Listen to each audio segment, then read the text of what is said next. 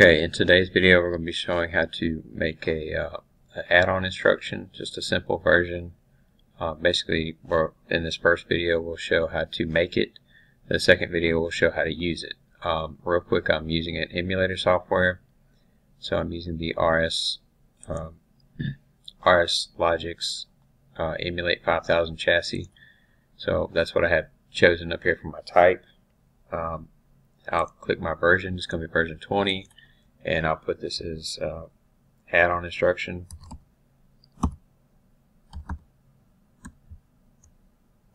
Add-on instruction.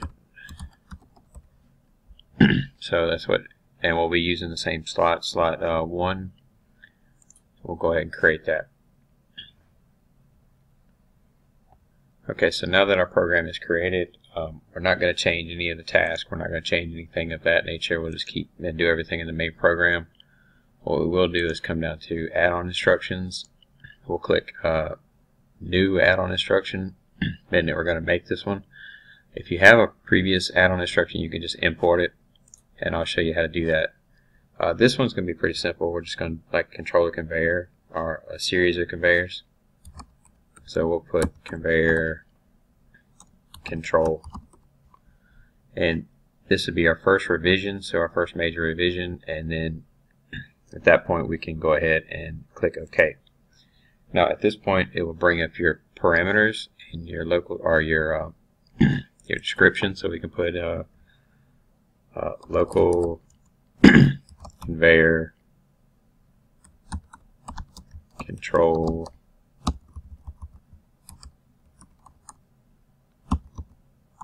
control for modulus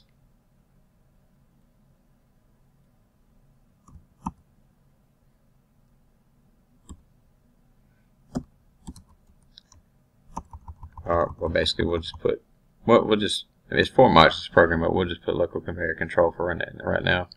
Um, and as far as parameters, um, that's where you want to put in any like tags you're going to pass. Uh, so we'll put start uh, push button, or let's just let's call it push button. Let's go ahead and type it out. And it's an input. We're going to have it as a DINT or a, uh, a bool. And we want to make sure we have that visible. So we'll click visible. We'll also have the stop uh, push button and we're going to have that as a bool as well as an input. So just keep that in mind. And we'll stretch that out so you can see the full thing. We'll have an e-stop. Stop push uh, button. And we'll have that also as a bool and we're going to make that visible. Uh, what we're going to do at this point is we're going to have uh, conveyor. Yeah I spell that right. Conveyor. Uh, run. And then we'll have that as an output. And then we'll have this again is it's going to be a bool. And we'll make that visible as well. So at that point that's our all of our tags that we're going to be passing back and forth so that um, that'll be shown up and we can put that into our, our uh, instruction.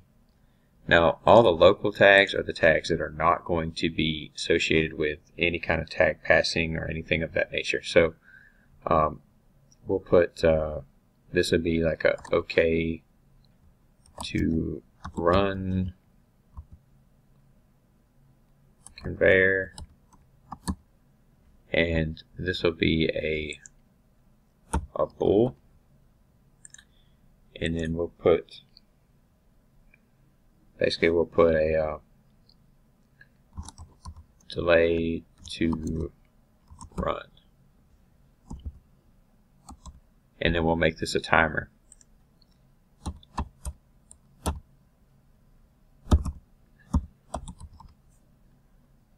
Okay so as far as that goes uh, we click apply we can open up the logic at that point and we can go ahead and make our program. So in this portion, we want to go ahead and have, we can have our e-stop, our e-stop push button. We'll have our start, our stop push button. And then we'll have, what we'll do is we'll throw in some logic in here that says, we'll put in the timer. And this timer will be the delay on timer. We'll put it for two seconds, so 200 milliseconds. Then down here below, we'll basically come down and say if the delay to time or delay to run is on, if it's done, then we want to cut on the OK to run bit. Right, so at this point, we'll add a new rung. and we'll use the OK to run bit and then we'll throw in the start push button. And in the start push button on the very back side of that we'll come in and use our conveyor run bit. So if the e-stop is good and the, the stop button is let's just let's change this to if the e-stop is good and the stop button stop button is not pressed then the delay to run will time out and allow the conveyor the ability to run. And then if the start button is pushed, it will cut on the conveyor. Now this is our our um, our AOI actually finished, so that we can actually come in here at this point and go to add-on instructions and incorporate it into the logic. So at this point, you know, this is our, our instruction we just made. Of course, you, so let's just go over this real quick. If you open this up, you can see that our parameters that we want to show right here. Um, so if we didn't want to show it, we could change it and click apply, right? Which it's going to show unknown right now, right? So if I want to delete it and add it again, it will be correct. So you see how that's influenced. So again, I want to show that um, that actual tag. So what I'll do is I'll come back to apply it again. It's going to show it. And so you kind of get a visual of how the uh, parameters work as far as the the parameter for the the what we're looking for is the the input push button, stop push button, the e-stop push button, and then the output is going to be the uh, conveyor run. So if you have those visible, they will be visible in your controls. And the local, all the local tags that we put in are not visible because they're not actually part of it. Now you could actually have those, um, uh, if you had those in, inside the parameters, if you had the local tags inside the parameters, you would still have to control them outside of the logic. So you want to be able to control everything in your in, internal into your AOI or your add-on instruction locally inside the ladder. So if you open this up, you can right click and hit open instruction logic. Then you can see that everything we don't want to actually control outside of of the um, you know, we want to keep it all contained inside the uh, the add-on instruction. We we keep that as local tag. So let's let's go back in and open this up again. So in the parameters again, that's the uh, e stops and the uh, the start button and the the, the uh, conveyor run. But in the local tags, we don't want to have to control this outside of the AOI or the add-on instruction. So we keep that uh, contained inside here. So this will automatically work. Um, you don't have to feed it with a bit. You don't have to feed it with an input or output or anything like that um, this will automatically work. So uh, with that said, um, now now that we have everything built, uh, if you wanted to, uh, if you want to use this in a different program, or if you had one to import or export, um, what I normally do is that once I have something made and I like it and I like the way it works, is I export it.